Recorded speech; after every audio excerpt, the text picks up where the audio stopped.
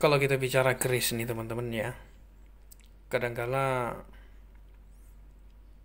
keris berganan itu merupakan satu persepsi keris yang begitu diminati oleh para petinggi-petinggi, oleh para pejabat-pejabat penting.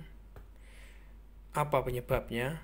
Penyebabnya adalah karena keris ganan dulunya memang diagem oleh orang-orang tertentu, penggede, para pemodal besar, para keluarga kerajaan. Jadi orang-orang penting. Adabnya serta aturannya itu ada. Mengagem keris berganan itu ada aturannya. Itu ada semenjak sudah dulu zaman Singosari. Berikut zaman Majapahit, berikut juga ada zaman Mataram begitu.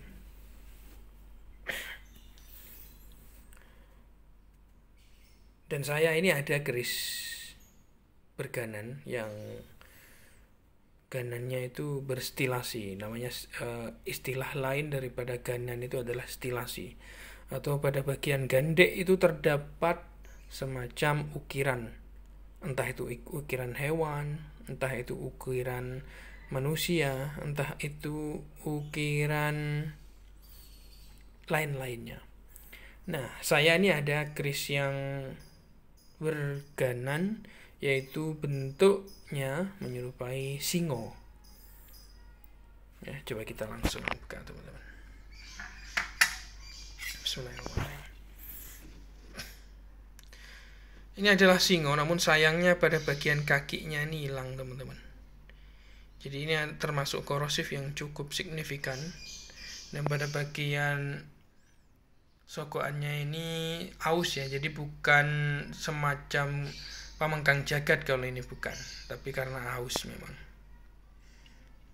Sebetulnya pamornya ini ada teman-teman. Belum saya warangi karena memang posisinya ini sedang setelah mutih ini belum diwarangi. Jadi kalau diwarangi nanti akan timbul pamornya. Untuk looknya sendiri ada lima.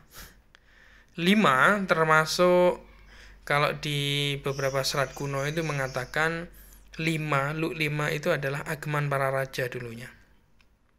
Look lima itu lambang sebuah kedikdayaan lambang sebuah kekuatan besar untuk mengatur banyak masyarakat. Sehingga bisa dikatakan ini para petinggi-petinggi penting teman-teman Nah, kalau kita melihat gestur besi ya, coba kita perhatikan lebih dekat. Ini termasuk keris yang bertangguh Mojopahitan, teman-teman. Lambang daripada singo ini adalah lambang keperkasaan, kekuatan besar, dan pengaruh-pengaruh yang sangat besar. Itulah lambang singo.